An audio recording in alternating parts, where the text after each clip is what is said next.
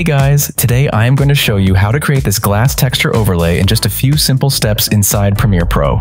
Alright, you can see I have got a video clip in the timeline. You can use any video footage that you like. Firstly, we need to create a duplicate of the video clip. Begin by selecting the video layer you want to copy. While holding down the Alt key on your keyboard, click and drag the video clip up one track in the timeline. This action will create an exact duplicate of the clip above the original layer. Next, we will focus on adding some effects to this top video clip to enhance its visual appeal. That's why, let's move over to the effects panel to apply a wave warp effect. We have to apply the wave warp effect two times. Next, Next, I am going to apply another effect. This is a transform effect. Let's drag and drop the transform effect onto the top video clip. After that, let's move over to the Effect Controls panel to customize all the effects. Firstly, I am going to customize the top wave warp effect. From the wave type parameter, we need to select the sawtooth, and then we can make the wave height parameter value around 100. Next, we need to make the wave width property value around 10. After that, we have to make the wave speed parameter value around 0. Alright, now you can see the changes on the program monitor.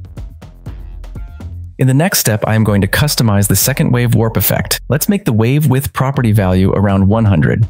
After that, we need to make the direction parameter value around 45. Next, we have to make the wave speed parameter value around 0. Then, we can make the phase value around 13. Lastly, from the transform effect, we have to make the scale parameter value around 102. Alright, now we are done. With these couple of steps, we have created this glass texture overlay in Premiere Pro. I hope you enjoyed the video. If you did, like the video and leave a comment.